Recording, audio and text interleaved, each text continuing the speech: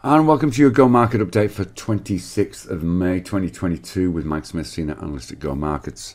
Hope you're all having a good Thursday so far.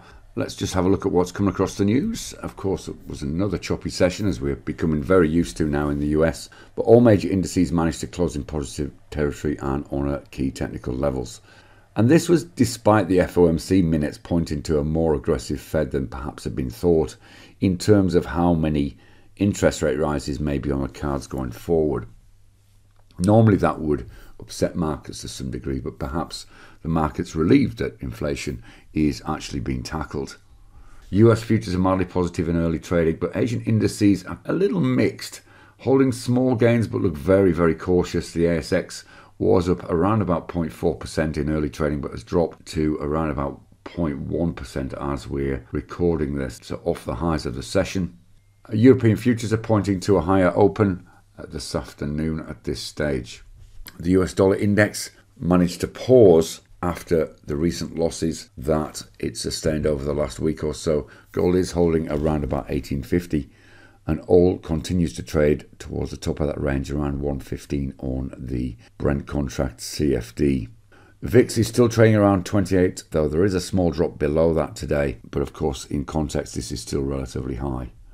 In the crypto space, Bitcoin continues to be choppy but looks settled in that 28 to 30,000 range and not much coming out in terms of data in the early part of the day, but it ramps up with the US tonight.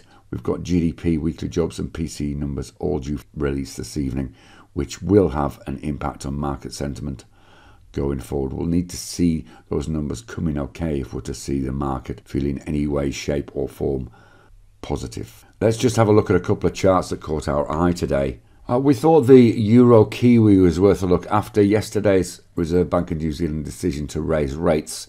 We didn't quite get the response we thought, or at least not to the same degree we thought. We did have some strength in the Kiwi, but this seems to have got stopped at around about this 164.90 level that you can see on the chart there. This has been support now and is where the 200 EMA is for the last couple of weeks. And so one wonders whether we're due for a bounce off this, perhaps up to retest maybe 165.48 in the first instance. You can see we're just bouncing along underneath that resistance short term. So one would need to be patient to take advantage of this. On the ASX, we've been having a quick look at AGL Energy. Uh, this has had a really good run since the beginning of the year. You can see we're down at six dollars. Uh, we're now up to around about this 860 level, but look as though we've got stuck around about 860. So we're going to keep an eye on this over the next few days. This could be a potential medium to long term hold. We'd like to see it move above this previous high here at 880, which was also tested at this stage. So just be aware we might get a little pop up towards that and then a pause.